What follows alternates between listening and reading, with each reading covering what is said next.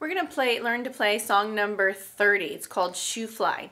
There is a new note B that you need to know. The B is one, two, three, middle finger. And you also have to know how to play the tie. So the tie is when you have two of the same notes connected. So it'll be one note plus another note and you're going to add them together. So if you look at the second note of the song, you have a C tied to another C. They're both one count each, which means it's now going to be worth two counts total. Okay? We're going to go through each note of the song. We're going to stop at the rest. So you have E, C, D, E, F, D. Let's just try that. E, C, D, E, F, D. The next part you have D, B,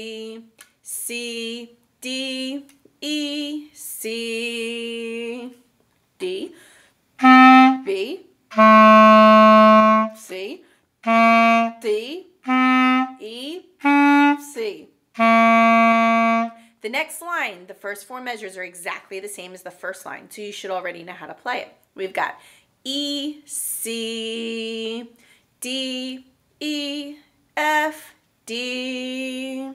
So we have E, C,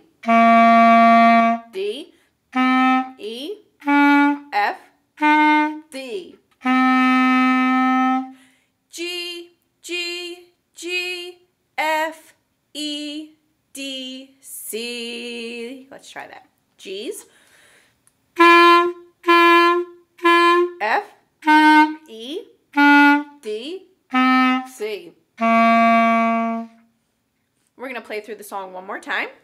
Starting from the very beginning, I'll walk you through the notes. You have E, C, D, E, F, D. Let's play that. One, two, ready, play.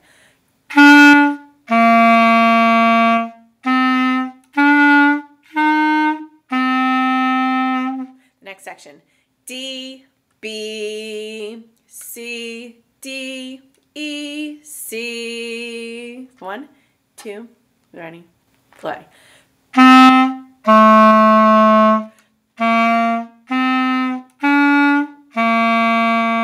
The next line. E, C, D, E, F, D. One, two, ready, play. And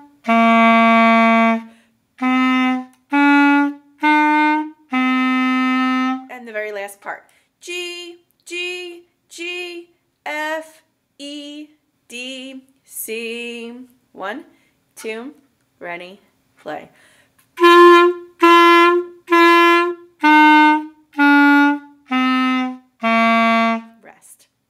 Good. There is a repeat sign at the very end of the song.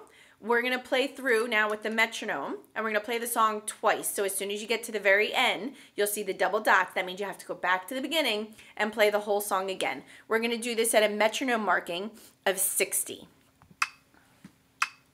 One, two, ready, play.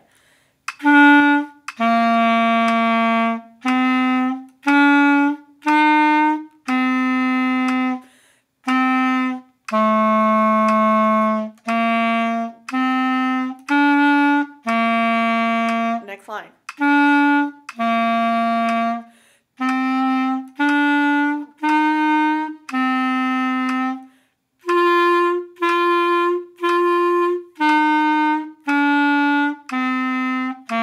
Repeat.